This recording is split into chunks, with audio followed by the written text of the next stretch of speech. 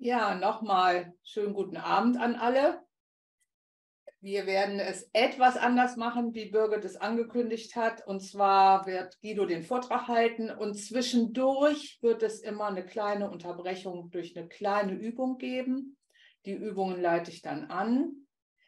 Die Übungen sind ganz frei. Jeder kann sich frei fühlen, eine Übung mitzumachen oder nur anzuhören. Es ist auch immer nur eine kurze Übung. Sie sollen durch die Übungen einen kleinen Vorgeschmack bekommen, wie sich das, was wir erzählen, dann vielleicht auch praktisch anfühlt. Wir werden nach den Übungen nicht nachfragen, sondern ich werde dann mit dem Vortrag fortfahren äh, und dann in der letzten, also das Ganze wird ungefähr eine knappe Stunde dauern und dann haben wir gut eine halbe Stunde Zeit, uns darüber auszutauschen. Okay, ja. Gefühle. Was sind eigentlich Emotionen? Was sind eigentlich Gefühle? Was meinen Sie selbst, was das ist? Und wie gehen Sie selbst mit Ihren Emotionen und Ihren Gefühlen um? Wie wirken die Emotionen anderer Menschen auf Sie? Was bewirken Ihre Gefühle bei den anderen? Wie regulieren Sie Ihre Emotionen?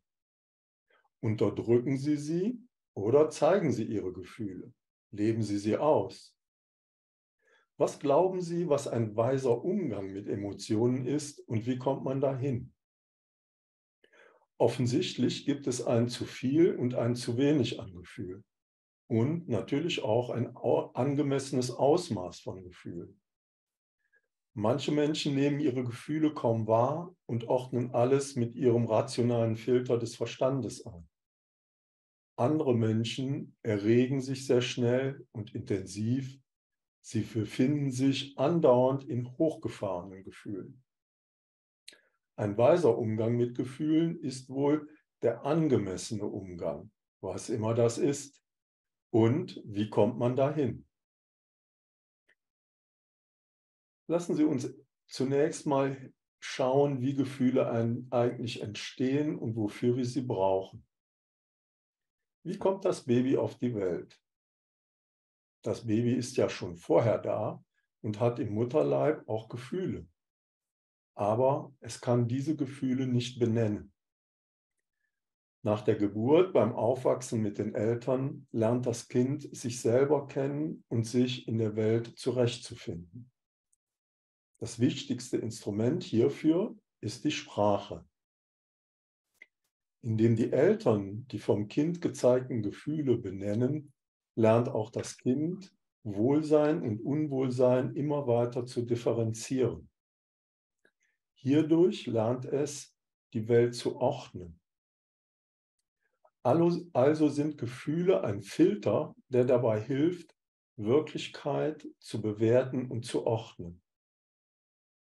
Außerdem sind Gefühle natürlich auch Ausdruck von Lebensfreude und Lebendigkeit.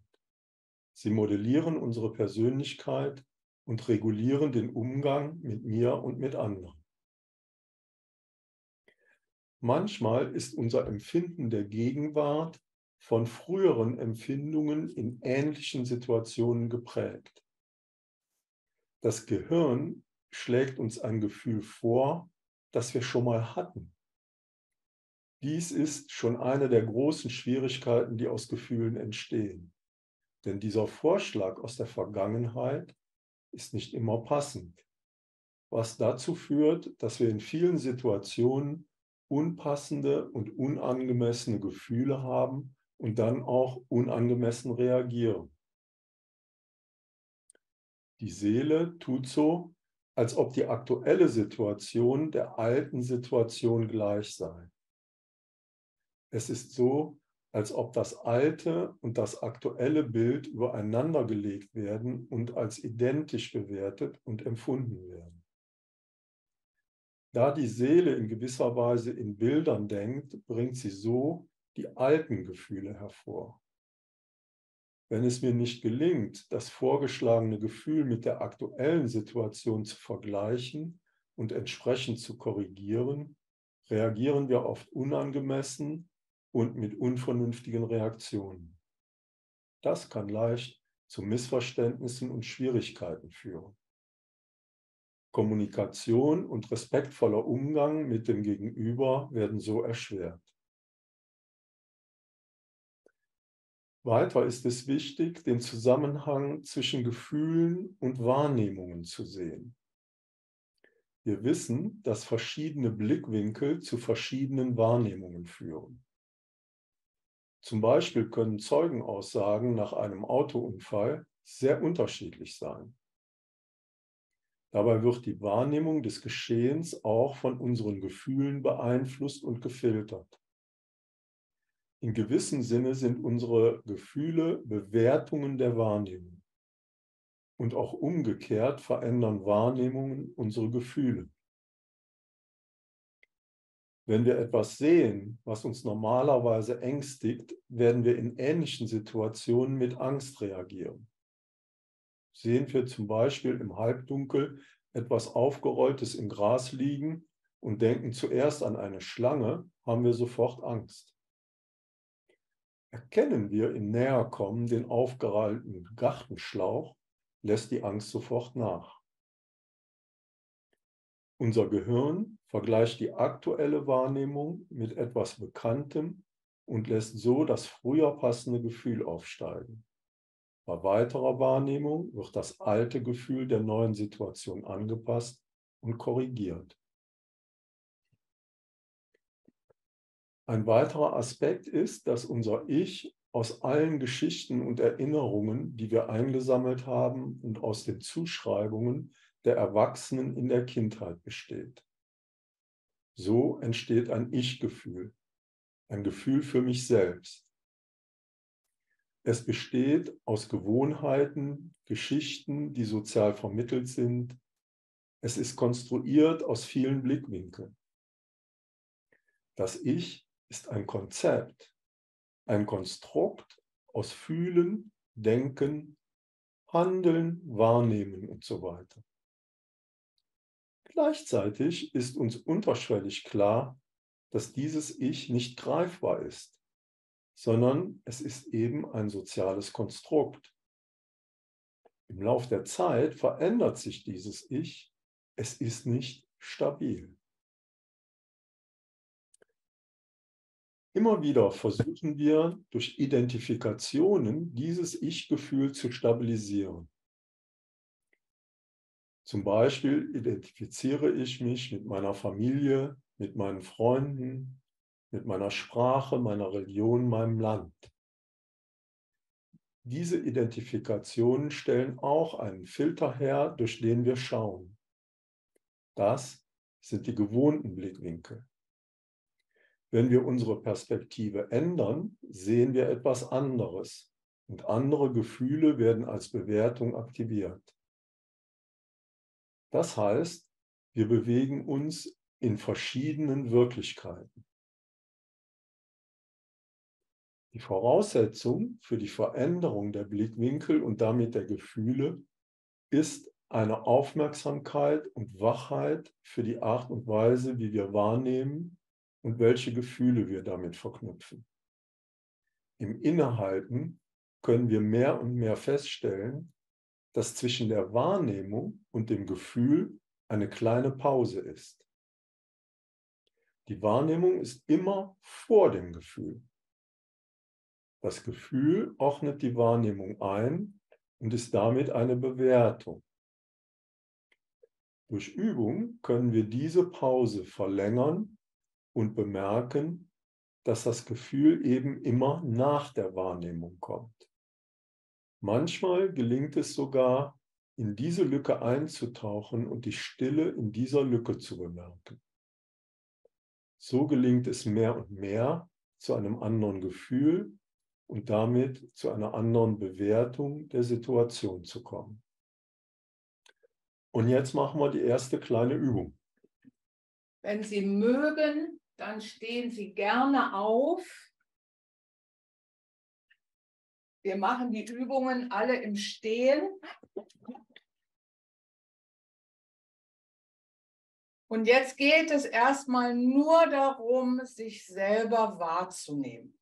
Stellen Sie sich gerne hüftbreit hin, lassen Sie die Arme locker am Körper runterhängen. Richten Sie sich auf, indem Sie leicht die Schultern nach hinten unten nehmen. Und Sie werden merken, dass Sie vorne im Brustbereich etwas nach vorne gehen. Leicht öffnet sich der Brustbereich.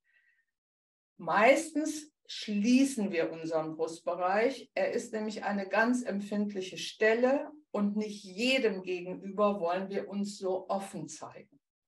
Um sich aber selber gut wahrzunehmen und auch eine gute Stabilität und ein Ruhen in sich selber zu finden, ist es wichtig, in diese Aufrichtung zu gehen. Halten Sie einen Moment inne Bemerken Sie nur Ihr Aufgerichtetsein, Ihr Stehen. Bemerken Sie gut die Füße unten am Boden. Seien Sie locker in den Knien. Und bemerken Sie vielleicht, dass Sie in dieser Haltung eine Präsenz ausstrahlen. In dieser Haltung sind Sie auch nicht so schnell zu irritieren oder umzuschubsen orientieren Sie sich jetzt. Wo bin ich gerade in diesem Moment? Das nur wahrnehmen. Vielleicht sitze ich im Wohnzimmer oder im Büro. Nur wahrnehmen. Wo bin ich gerade? Was mache ich gerade? Jetzt stehen wir. Vorhin haben wir dem Vortrag zugehört. Im Moment stehen Sie nur. Gibt es in diesem Moment irgendein Gefühl, eine Stimmung in Ihnen? Dann bemerken Sie das nur. Nur wahrnehmen. Und schauen Sie auch, welche Gedanken in diesem Moment da sind. Und bemerken Sie, ob die Gedanken in die Jetzt-Situation gehören oder ob es alte Gedanken vom Verlauf des Tages, von den gestrigen Tagen sind, dann versuchen Sie zum Jetzt zurückzukehren. Jetzt stehe ich hier, jetzt bin ich in meiner Präsenz, jetzt nehme ich meinen Körper wahr, mein Aufgerichtetsein, jetzt nehme ich wahr, ob Gefühle da sind, jetzt bemerke ich meine Gedanken und gleichzeitig fließt ihr Atem und Sie bemerken ihn ganz sanft an den Nasenflügeln. Und gönnen wir uns einen kleinen Moment so innezuhalten.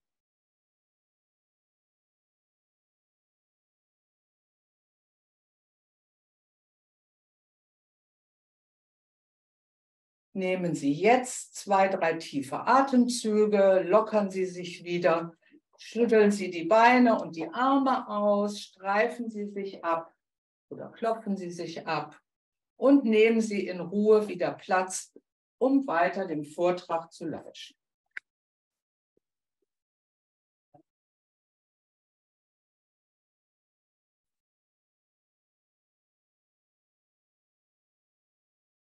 Das ist so eine ganz kleine Übung, die man jederzeit und überall unauffällig machen kann. Ich nenne das auch schon mal Zigarettenpause ohne Zigarette, weil das, was die Raucher machen, ist sinnvoll. Eine kleine Pause machen und tief ein- und ausatmen. Wenn man dabei die Zigarette weglässt, ist das super. Ähm, wenn Sie das öfter machen, dann werden Sie merken, das kann man machen beim Warten äh, im Supermarkt an der Kasse oder äh, bei jeder passenden und unpassenden Gelegenheit. Und ich empfehle das besonders dann, wenn Sie das Gefühl haben, hm, hm, hm, da stimmt jetzt irgendwas nicht. Da äh, bin ich nicht im Thema oder da habe ich unangemessen reagiert oder so.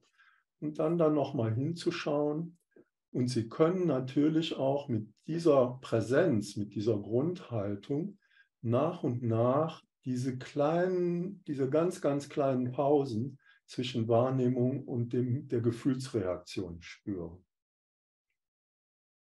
Okay, erstmal soweit, vielleicht kommen wir nachher nochmal darauf zurück.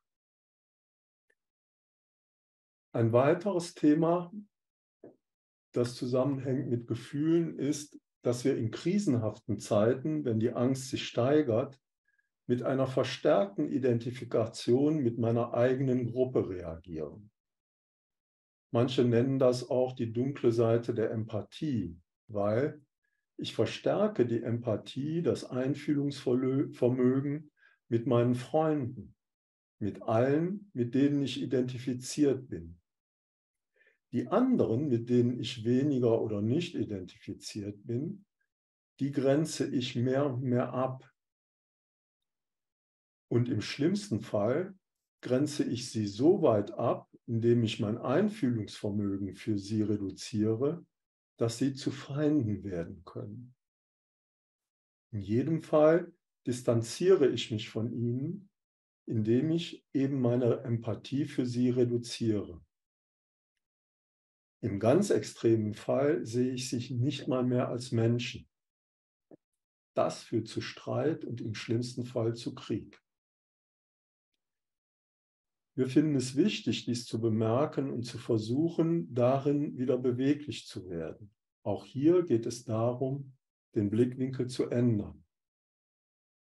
Das gibt mir in meinen Gefühlen eine neue Beweglichkeit. Und durch einen neuen Blickwinkel kann es gelingen, die ganze Situation anders zu sehen und neu zu bewerten. Auch dazu wollen wir eine kleine Übung anleiten. Ich lade Sie wieder ein, aufzustehen.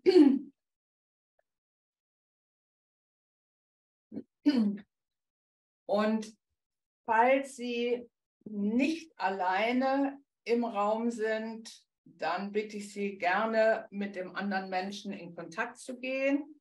Wenn Sie alleine im Raum sind, bitte ich Sie, sich einen Gegenstand auszugucken.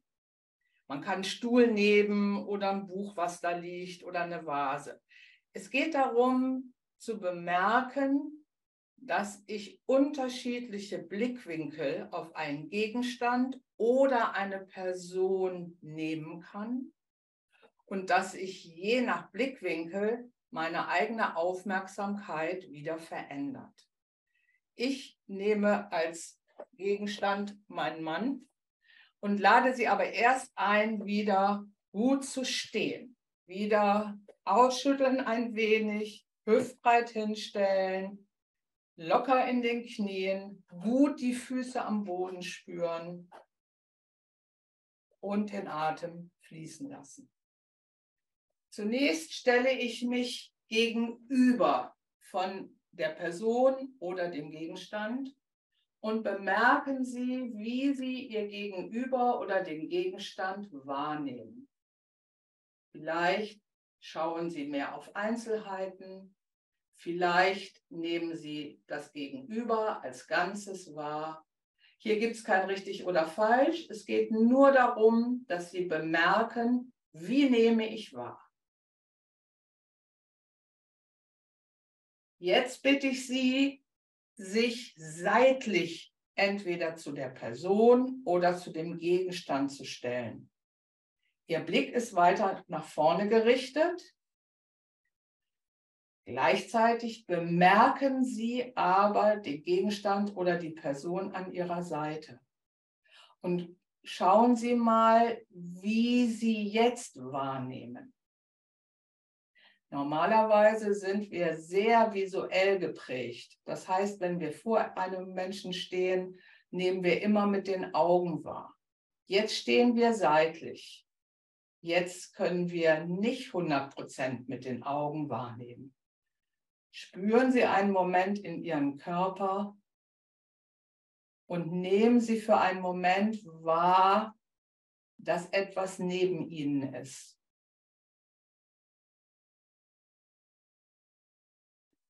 Atmen Sie wieder, lockern Sie sich wieder. Und ein letztes Mal bitte ich Sie, sich so zu stellen, dass Sie die Person oder den Gegenstand im Rücken haben. Wieder Beine hüftbreit, Füße hüftbreit, locker in den Knien. Wieder die Erlaubnis, vorne im Brustbereich offen zu sein gehen Sie ganz in Ihre Präsenz und nehmen Sie mit dem gesamten Rücken wahr. Und spüren Sie einen Moment nach, wie ist die Wahrnehmung so rum.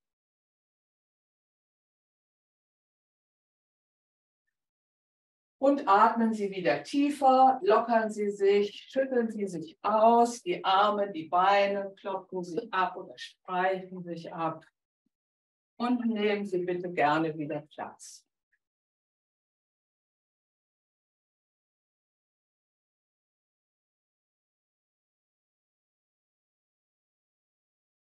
Und ich werde fortfahren mit äh, dem Thema, dass Gefühle hartnäckig sind. Wir werden sie manchmal nicht so schnell los. Irgendwas taucht immer wieder von neuem auf. Unsere Erziehung, jedenfalls zu meiner Zeit, schlägt vor, dass Menschen versuchen sollen, sich zu beherrschen, das heißt ihre Gefühle zu kontrollieren. Dabei werden die Gefühle meistens unterdrückt dann sind die Gefühle nicht weg, sondern sie tauchen an anderer Stelle wieder auf. Die meisten von Ihnen werden das Problem kennen, dass besonders bei bestimmten Gefühlen ein hoher innerer Druck entsteht, mit dem man nicht gut umgehen kann. Wir sagen auch, das schlägt mir auf den Magen. Ich habe gerade einen Artikel gelesen, die Wissenschaft findet gerade raus, wieso das so ist, dass es auf den Magen schlägt. Manchmal raubt es einem den Schlaf oder nimmt die Luft zum Atmen. Die hohen Anforderungen im Lebensalltag stressen uns mehr und mehr. In der Arbeitswelt wird heute viel mehr verlangt als noch vor 20 Jahren. Der Druck ist immens. Außerdem wird durch Arbeitsplatzunsicherheit und andere Dinge die sowieso schon bestehende Angst weiter verstärkt. Das führt dazu, dass heutzutage die häufigsten Krankheiten im Alter zwischen 25 und 45 psychische Erkrankungen sind. Neun von zehn. Wie kommt es, dass in den reichen Gesellschaften so viel Angst und Depression besteht? Eine offene Frage. Zurzeit erleben wir zusätzlich eine große Verunsicherung durch die vielen Veränderungen und Belastungen, die wir erleben.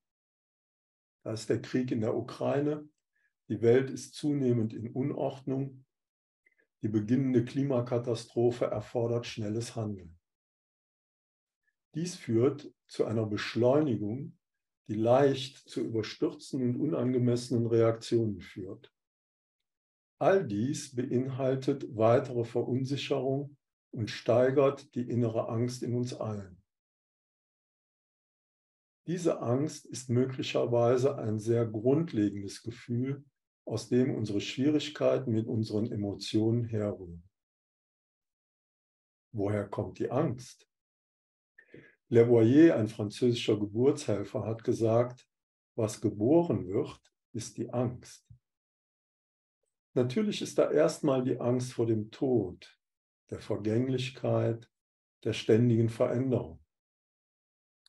Wir leben im Bewusstsein, dass sich alles verändert und ich mich an nichts festhalten kann. Jeder Moment ist gleich wieder vorbei.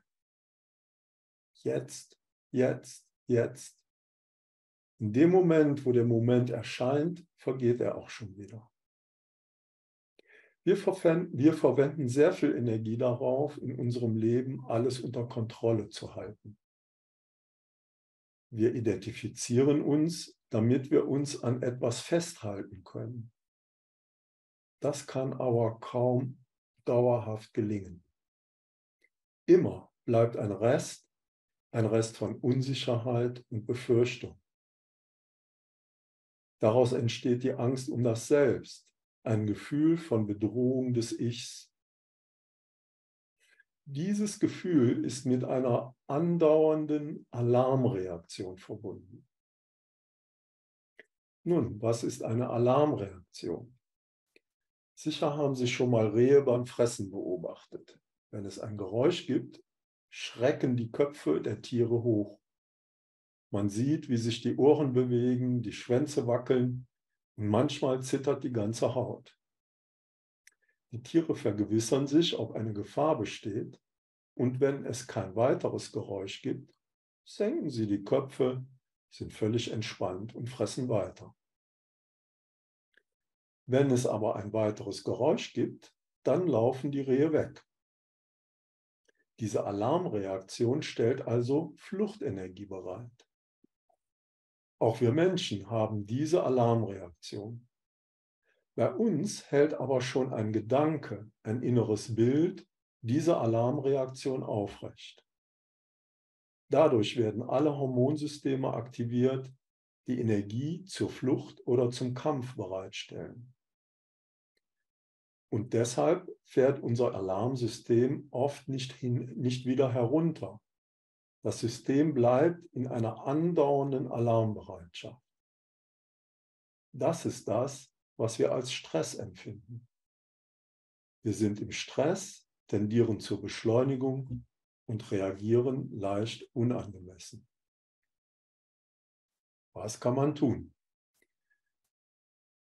Da es Fluchtenergie bereitstellt, ist für den Stressabbau zunächst mal Bewegung wichtig. So ist jegliche Form von Bewegung dazu angetan, die bereitgestellte Energie abzurufen. Das kann jede Form von Sport sein, schnelles Gehen, Jogging, Radfahren, Schwimmen oder auch Mannschaftssport. Wichtig ist, dass es Freude macht.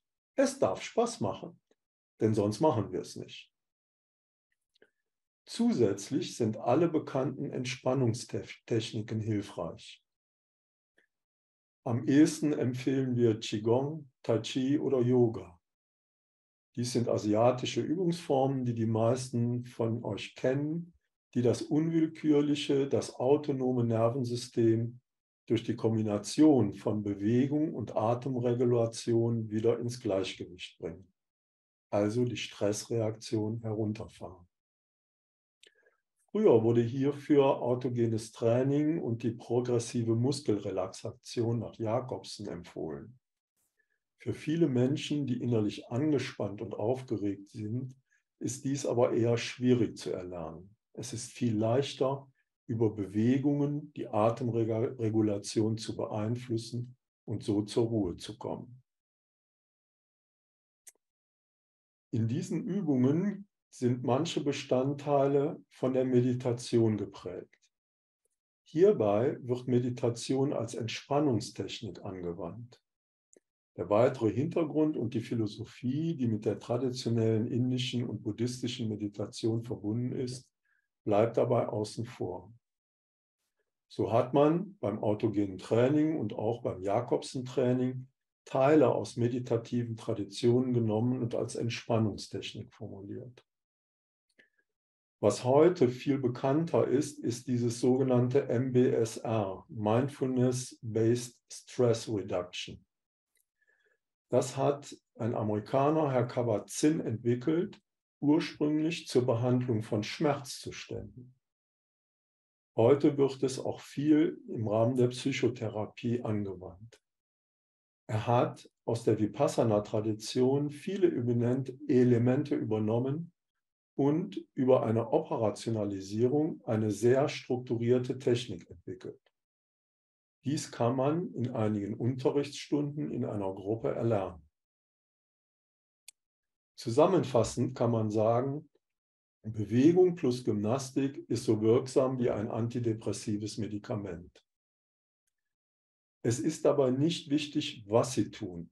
Es ist wichtig, dass sie es tun und möglichst mit Freude tun. Denn man muss es wie das Medikament täglich einnehmen. Einmal die Woche zum Kursus gehen ist nicht ausreichend. Diese Kombination, durch diese Kombination wird es ihnen gelingen, sich innerlich zu beruhigen. Sie kommen wieder ins Gleichgewicht und in ihre Mitte. Besonders wenn ich unter Druck bin, brauche ich diese Selbstregulation, um zu einem angemessenen Umgang mit mir und anderen zu kommen. Und jetzt machen wir so eine Übung. Ja, auch dazu wieder eine kleine Übung. Ich bitte Sie wieder aufzustehen.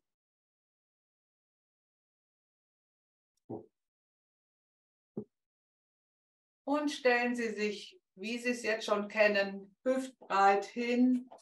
Die Arme hängen locker neben dem Körper. Und spüren Sie als erstes wieder gut die Füße am Boden. Sie können gerne auch die Zehen so ein bisschen in den Boden reindrücken. Bemerken Sie Ihre Aufrichtung. Bemerken Sie, dass vorne der Brustbereich geöffnet ist, sich leicht nach vorne schiebt. Die Arme hängen rechts und links neben dem Körper. Und legen Sie jetzt eine Hand an den Unterbauch und atmen Sie tief in den Unterbauch. Sie werden merken, beim Einatmen geht der Bauch leicht nach vorne, beim Ausatmen wieder zurück. Leicht nach vorne und zurück. Auch das ist schon eine große Hilfe, um für sich selber in die Präsenz, in die Mitte zu kommen. Sie können das noch jetzt darin unterstützen, dass Sie Energie sammeln, so nennen wir das. Auch eine Übung, die auch im Qigong und auch im Tai Chi angewendet wird. Mit dem Einatmen nehmen Sie Ihre Arme rechts und links vom Körper nach oben und machen sich ganz groß. Wenn Sie mögen, können Sie sogar auf die Zehenspitzen gehen. Und mit dem Ausatmen nehmen Sie die Luft ganz langsam wieder nach unten und führen die Hände vor Ihrem Körper an den Unterbauch. Und wiederholen Sie das gerne drei, vier Mal in Ihrem Rhythmus. Langsames Einatmen, die Arme gehen nach oben. Eventuell strecken Sie sich. Langsames Ausatmen vor dem Körper und die Arme langsam zum Unterbauch wieder hinführen. Innehalten. Und nochmal einatmen, langsam nach oben. Pause. Langsames Ausatmen. Die Arme gehen vor dem Körper nach unten und wieder an den Unterbauch. Pause. Und noch ein letztes Mal Einatmen, die Arme gehen hoch. Und Pause und ausatmen. Langsam gehen die Arme nach unten. Werden an den Unterbauch gelegt. Und bemerken Sie wieder den Moment, nachdem der Atem ausgeflossen ist. Kleine Pause. Und dann lassen Sie die Arme sinken Stehen noch einen Moment nur still da. Wenn Sie mögen, schließen Sie im Moment die Augen und spüren nur in Ihren Körper hinein. Manchmal kribbelt es ein wenig, manchmal in den Handinnenflächen, manchmal die Arme. Das ist alles in Ordnung.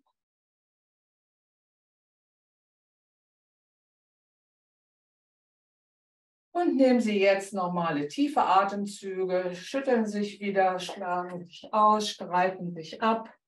Ja. Und nehmen wieder Platz.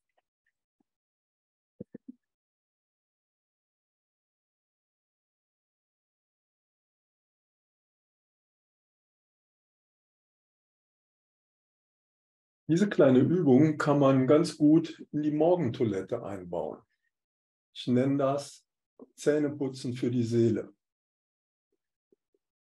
Eine andere interessante Übung ist übrigens, wenn man vor dem Spiegel steht, guckt man nicht wirklich dahin. Selbst beim Kämmen sieht man nur die Haare. Schauen Sie sich selber an und geben Sie der Person im Spiegel ein Lächeln. Ich garantiere Ihnen, Sie kriegen ein Lächeln zurück. Probieren Sie das mal eine Woche lang aus. Nun ist es so, dass es manchmal aber auch um tiefergehende Störungen geht. Wenn starke Verletzungen oder Traumatisierungen vorliegen, braucht es in aller Regel eine professionelle Psychotherapie. Interessanterweise wurde in den letzten 15 Jahren mehr und mehr Meditation als zusätzliches Element in die Psychotherapie aufgenommen. Wohlgemerkt, nicht als eigenständige Therapieform, sondern als Ergänzung der von unterschiedlicher Seite praktizierten Psychotherapie. Frau Reddemann, eine Psychoanalytikerin, hat schon vor Jahren gesagt, sie ist auch Traumatherapeutin, Psychotherapie ohne Meditation ist kaum noch vorstellbar. Dies ist natürlich zunächst auch Aufgabe der Therapeutin, dies für sich kennenzulernen. In der Verhaltenstherapie wurden Elemente der Meditation aufgenommen. Es gibt zum Beispiel die Acceptance and Commitment Therapie, ACT. Akzeptanz und Hingabe sind wichtige Elemente der Meditation. Über MBSR hatten wir schon gesprochen. Eine interessante Möglichkeit aus der Gestalttherapie ist die sogenannte Arbeit mit dem inneren Kind. Hier geht es darum, die Gefühle des Kindes, die sich über den aktuellen Blickwinkel schieben, als Gefühle der kindlichen Angst zu erkennen. Um von diesen Gefühlen nicht überrollt zu werden, ist es nötig, das Kind zu verstehen, das ich einmal war. Die Erwachsene lernt, dem Kind, das sie selbst mal war, im Inneren zu begegnen. Wir alle tragen dieses innere Kind in uns und können in der Fantasie dieses Kind sehen. Es geht einfach darum, diesem inneren Kind so zu begegnen, wie man einem verängstigten Kind begegnet. Mit Verständnis, Mitgefühl, Trost und Zuwendung. Wird dies geübt, gelingt es in der Regel, das innere Kind zu beruhigen lässt die innere Anspannung nach, kann die aktuelle Lebenssituation immer besser von der vergangenen kindlichen Lebenssituation unterschieden werden. Wir sagen auch, man lernt Kind selbst und Erwachsenen selbst zu unterscheiden. Damit habe ich eine Möglichkeit dargestellt, wie eine bestimmte Richtung der Psychotherapie dabei hilft, angemessen mit Gefühlen in der Gegenwart umzugehen und damit auch angemessen auf Situationen zu reagieren. Das sollte man in der Regel in Begleitung machen, aber wir wollen trotzdem hier eine kleine Andeutung versuchen. Ich lade Sie also wieder ein, sich hinzustellen.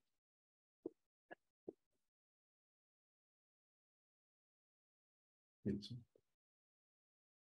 Und als erstes, wie Sie schon kennen, Füße am Boden spüren, sich lockern ein wenig, locker in den Knien bleiben, Schultern nach hinten, unten, vorne, Brust ein wenig raus, atmen.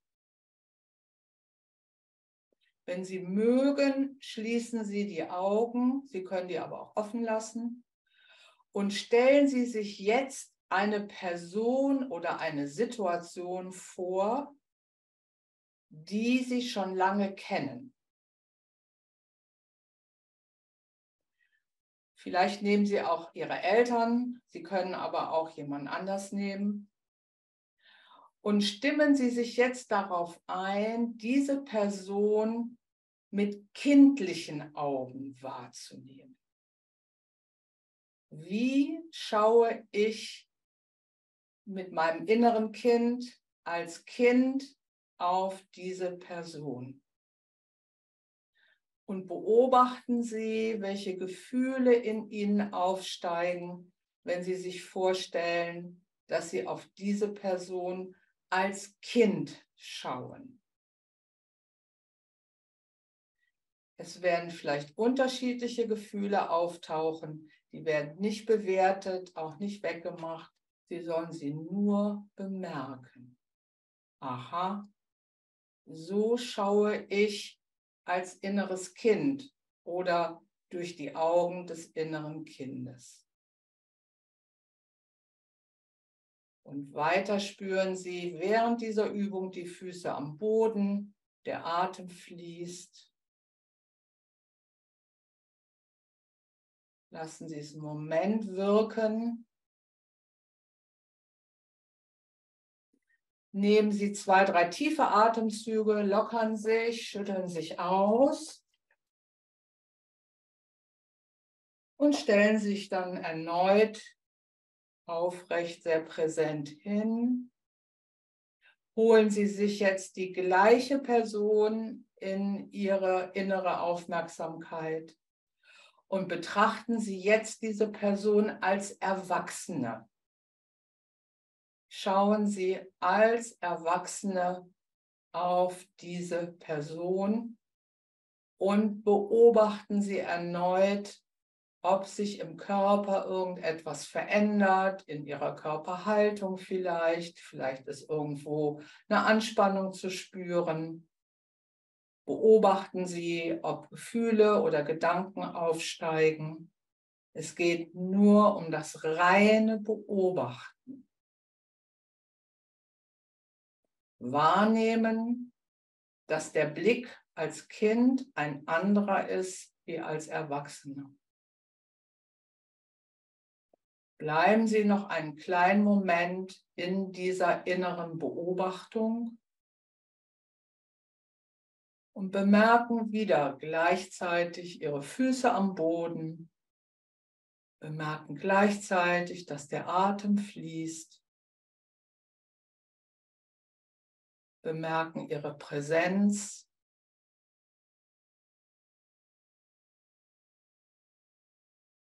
Und nehmen Sie wieder tiefe Atemzüge, schütteln Sie sich aus, jetzt nochmal besonders intensiv, streifen Sie sich ab.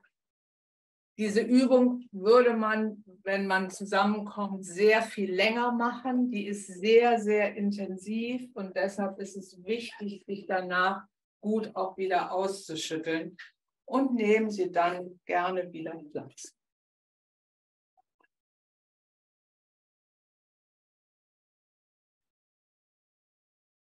Das war ein kleiner Geschmack, wie sich das im Rahmen einer Psychotherapie anfühlen kann. Die Übung selber, die Arbeit mit dem inneren Kind wird sehr unterschiedlich gestaltet. Äh, es gibt dazu äh, etliche Bücher. Ich möchte aber noch auf eine weitere Möglichkeit eingehen, die sich in allen meditativen Traditionen findet.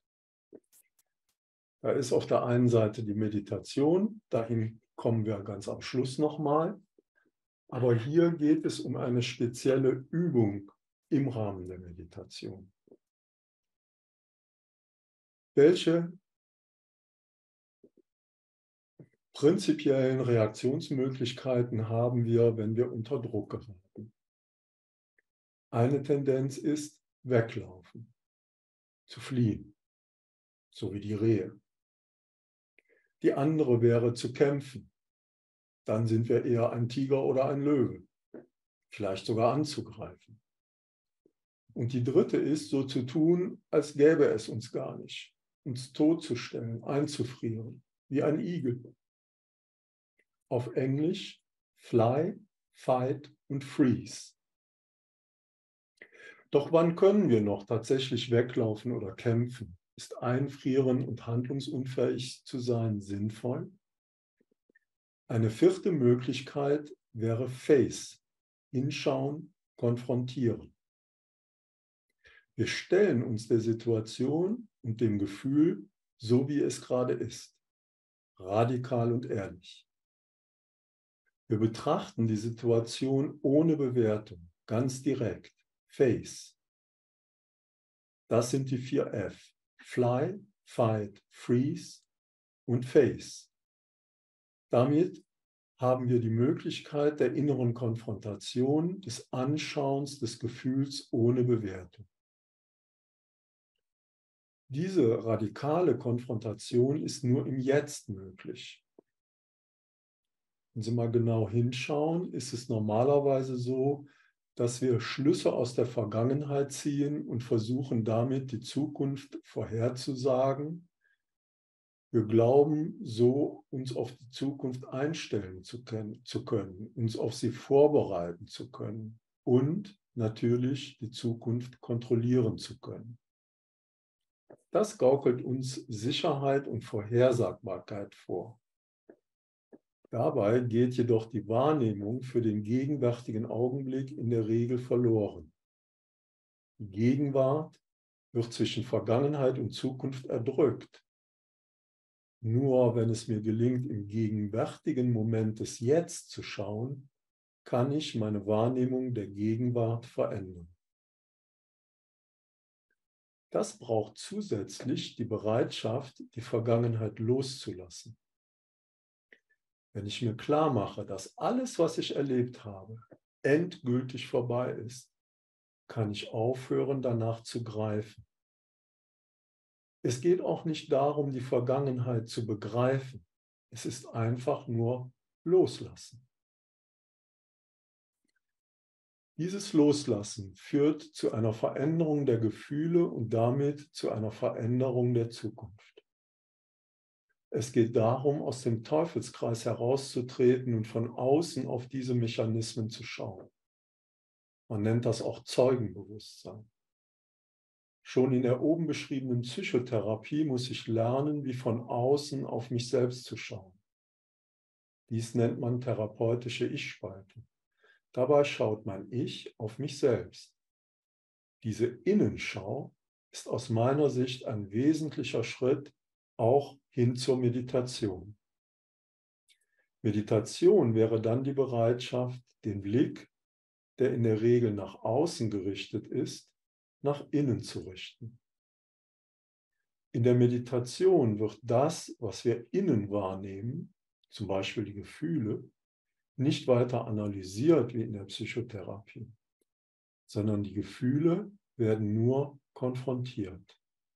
Face. Es ist dabei wichtig, die Gefühle bzw. alles, was wir wahrnehmen, nicht wegmachen zu wollen. Das würde wieder in einen Kampf führen. Wenn wir kämpfen, machen wir den Gegner größer.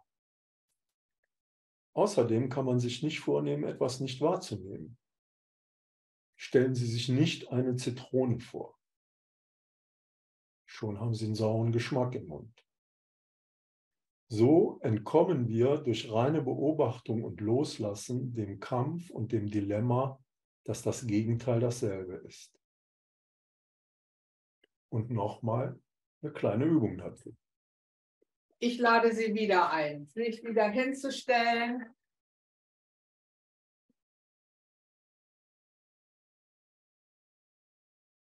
wie Sie es jetzt schon mehrfach gelernt haben. Hüftbreit, die Füße locker in den Knien, Schultern hinten unten, Arme hängen locker, der Atem fließt.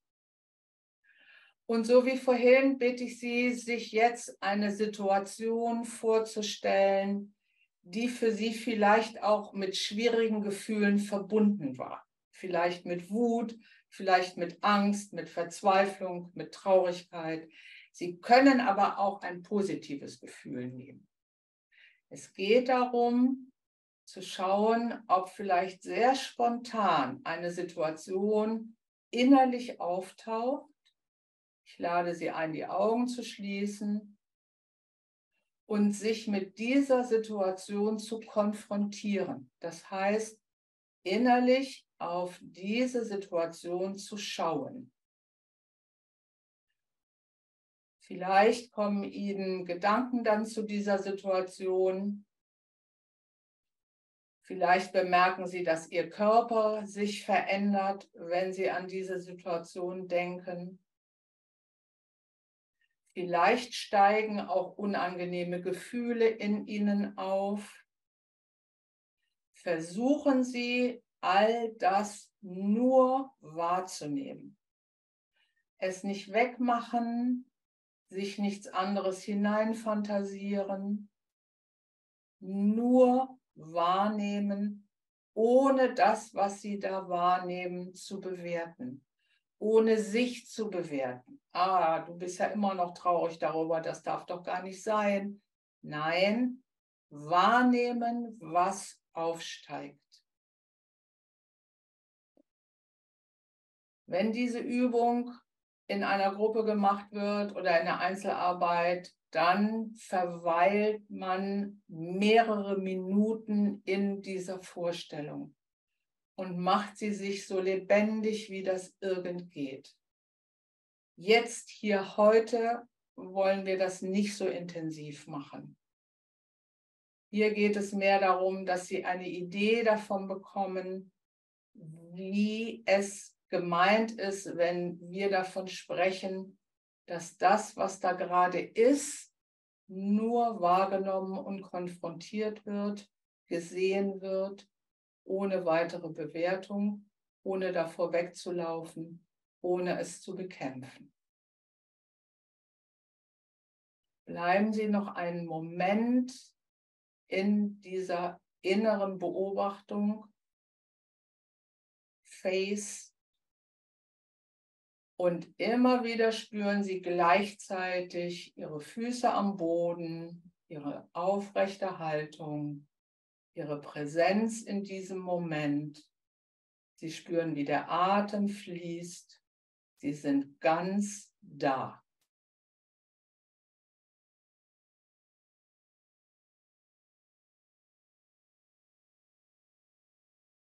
Und erlauben Sie jetzt dass diese Vorstellung sich langsam wieder auflöst und verflüchtigt.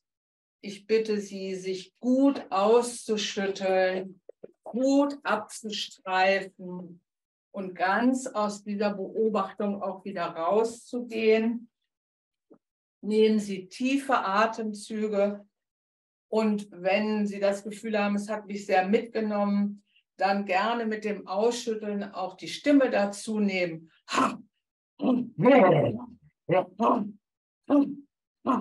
Ich lasse es wieder los, ich gebe es wieder ab. Und ich lade Sie ein, jetzt wieder Platz zu nehmen und noch ein wenig dem Vortrag zu lauschen.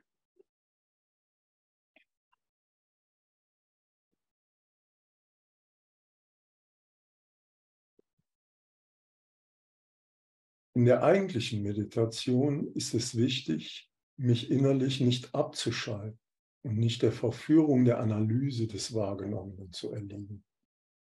Die Kunst liegt darin, mit viel Geduld auf das zu schauen, was wir bemerken. Wenn wir in Not sind, wenn wir Angst haben und nicht weiter wissen, entsteht eine Verengung der Wahrnehmung.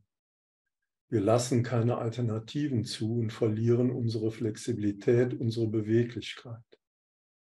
Manchmal haben wir das Gefühl, in eine Sackgasse zu geraten.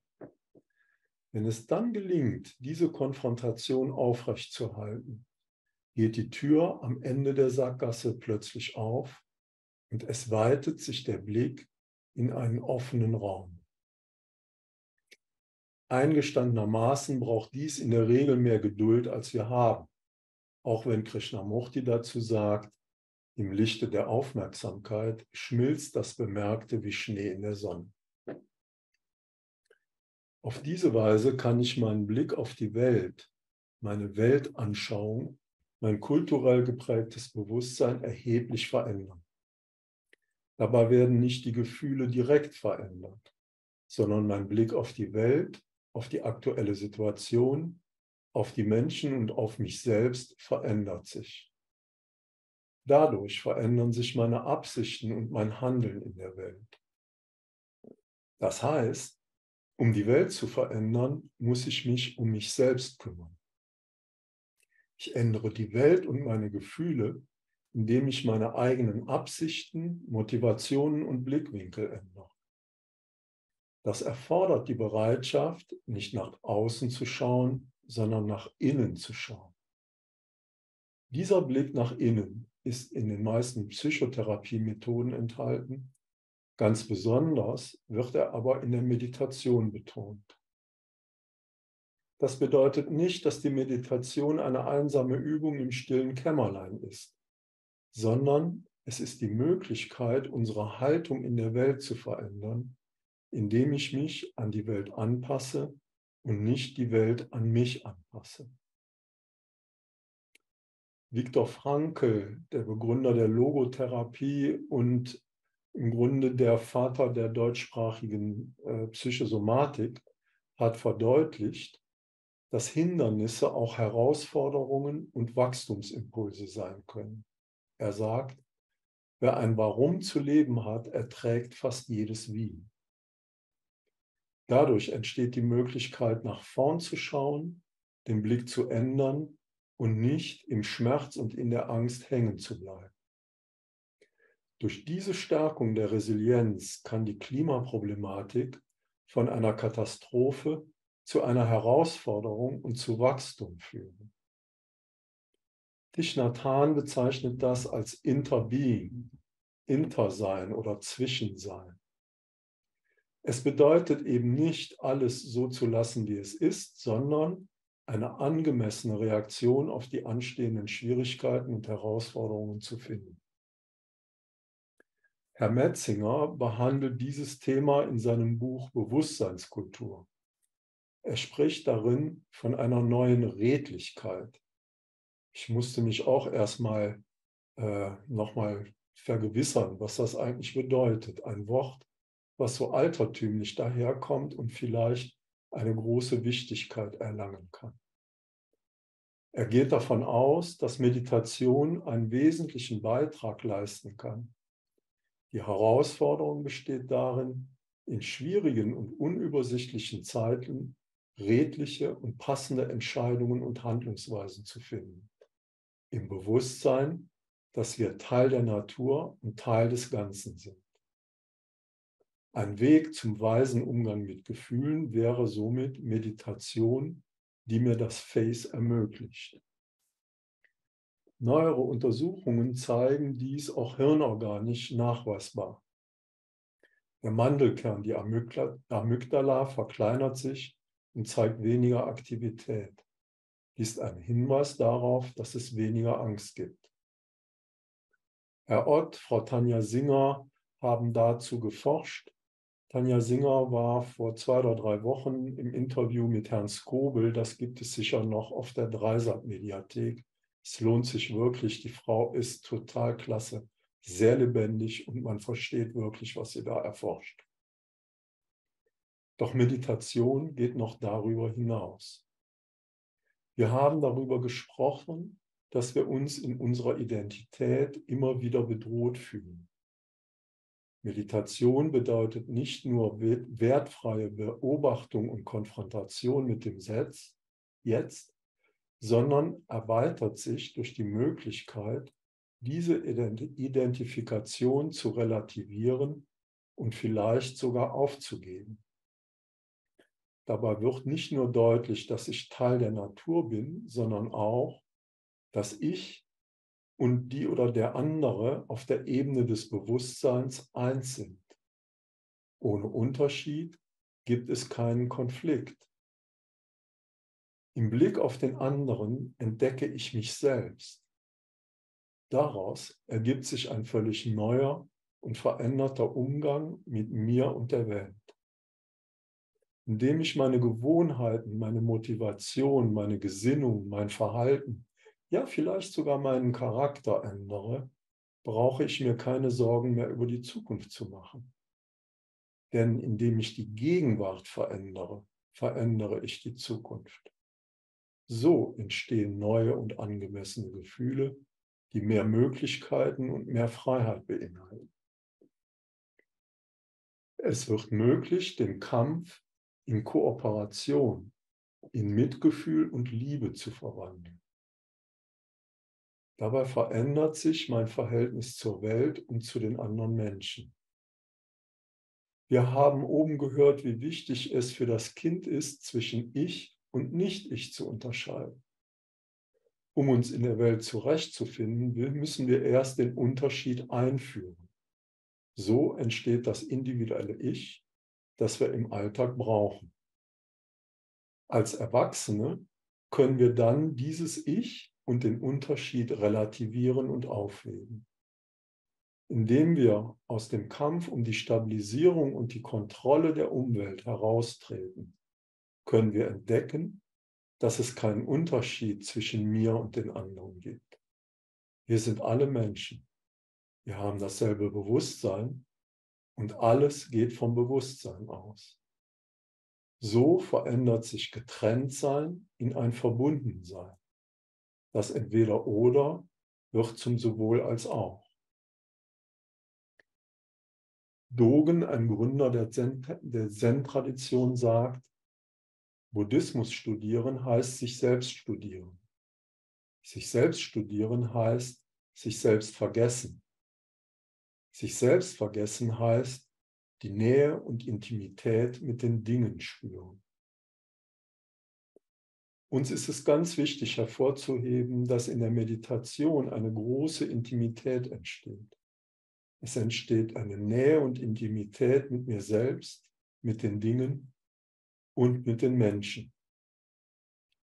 Wenn ich mich tiefer in die Meditation fallen lasse, löst sich die Identifikation mit meinem Ich auf und der Unterschied zum anderen, den anderen Personen gegenüber, ist nicht mehr gegeben. Es verändert sich das Erleben von Zeit. In der tiefen Meditation berichten viele Meditierende, dass sie einen offenen Raum bemerken. In diesem offenen Raum gibt es keine Zeit, die verläuft. Es gibt nur jetzt, den Augenblick. Außerdem gibt es keine Gegenstände, keine Dinge, keine Formen und keinen Inhalt. Keine Namen, keine Geschichten, nichts, das für real gehalten werden könnte. Es entsteht eine tiefgreifende Wandlung, die mich zu einer stillen, tief innen verankerten Freude veranlasst. Ich kann aufhören zu kämpfen, muss mich nicht mehr durch Kontrolle absichern. Jetzt erlebe ich, dass ich die Welt, die ich kreiere, selber bin. Die, die Welt entfaltet sich in meinen Absichten. Wenn diese Absichten nicht mehr allein auf mich bezogen sind, weil ich verstanden habe, dass ich kein eigenständiges Ich bin, dann ist Wohlergehen nichts Individuelles mehr. Und meine Gefühle wandeln sich. Das oben beschriebene Zeugenbewusstsein erfährt dabei eine Wandlung in einen unpersönlichen Zustand der Beobachtung und einen Zustand von offener Weite. Dieser Zustand ist eine Folge der Einsicht in die Unterschiedslosigkeit. So ergibt sich Redlichkeit, eine Moral, die nicht mehr die Moral des Stärkeren ist, sondern eine Ethik und Moral, die sich aus diesem inneren geistigen Bewusstseinszustand ergibt. Es ermöglicht angemessene und vernünftige Reaktionen auf Konflikte und große Herausforderungen. Dann ist Meditation keine Übung, um mich zur offenen Weite hin zu öffnen, sondern eine Lebenshaltung und ein tief verankerter geistiger Zustand. Dies eröffnet neue Räume, neue Gefühle, neue Möglichkeiten. Es ergibt sich die Möglichkeit, so zu handeln, dass es hinterher mehr Möglichkeiten gibt als vorher. Das ist aus unserer Sicht angemessenes Handeln aus neuen und frischen Gefühlen heraus. Dafür ist es wichtig, die Gewohnheiten gehen zu lassen, Vertrauen zu fassen und in den Prozess der Kreativität hineinzuleben. Seine eigene Natur nähren. So dient man dem Himmel. Und wir möchten schließen mit einem Zitat von Jean Gebser. Es ist die letzte Strophe aus einem Gedicht von ihm und danach kurz innehalten. Dass uns ein sanftes geschehe, wenn uns der Himmel berührt, wenn seine atmende Nähe uns ganz zum Hiersein verführt.